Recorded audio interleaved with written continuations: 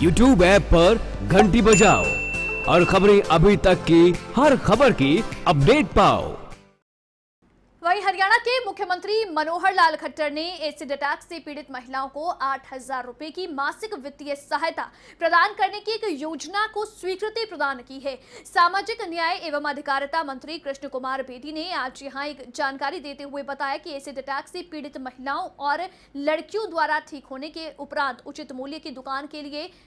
आवेदन करने पर खाद्य, नागरिक आपूर्ति और उपभोक्ता मामले विभाग की ओर से उन्हें उचित मूल्य की दुकानों के आवंटन में वरीयता दी जाएगी। उन्होंने साथ ही कहा कि एसिड अटैक से पीड़ित उन महिलाओं को वित्तीय सहायता प्रदान की जाएगी, जो निशक्त जन यानी समान अवसर पूर्ण भागीदारी के अधिकारों का संरक्षण अधिनियम उन्नीस की धारा दो के तहत निशक्तता की परिभाषा के तहत आएँगी।